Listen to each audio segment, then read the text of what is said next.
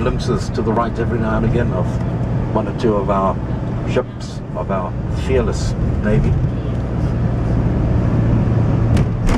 This tour you could actually do easily do over two days.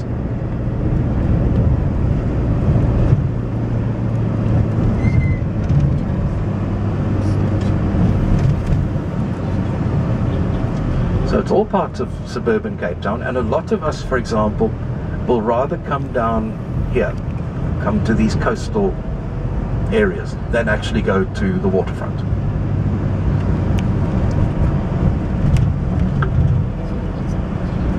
So this is considered part of Cape Town. Mm, It's all part of suburban Cape Town, yes.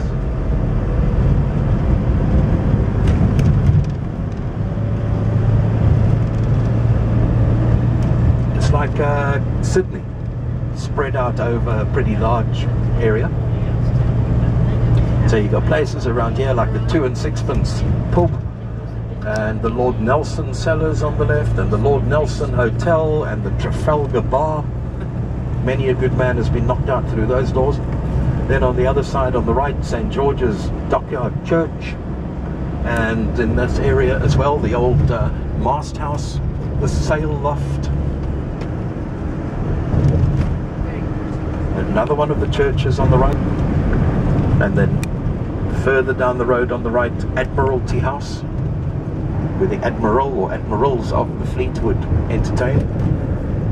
Um, there are foreign warships that came into Table Bay this morning, um, either like an auxiliary aircraft carrier or a helicopter assault ship. I'm not 100% sure, and two destroyers or frigates that came in this morning.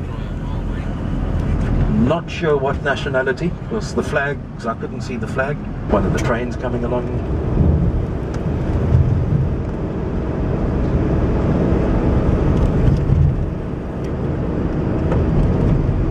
mountain above here.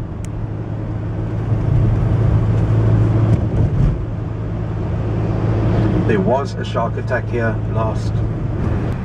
This is the main business area, the main road business area, and then everything else all the way down the valley to the left is just almost one and a half hours to have a look around and get something to to eat before we go to the uh, the wine farm.